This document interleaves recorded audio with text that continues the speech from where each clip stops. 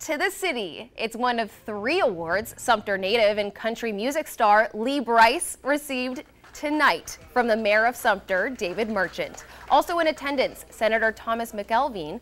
He offered a Senate resolution welcoming Brice home, and Representative Murrell Smith gave a House resolution that recognizes him as Country Artist of the Year. We caught up with the country singer to see how he felt being back home.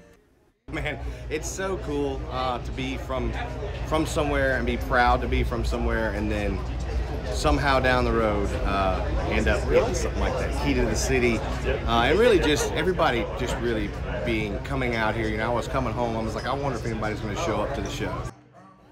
Oh, well, Lee Brice was welcomed by more than 5,000 fans at Patriot Park. He performed a concert to kick off the annual Inspire Festival to raise money for the Ackerman Legacy Foundation.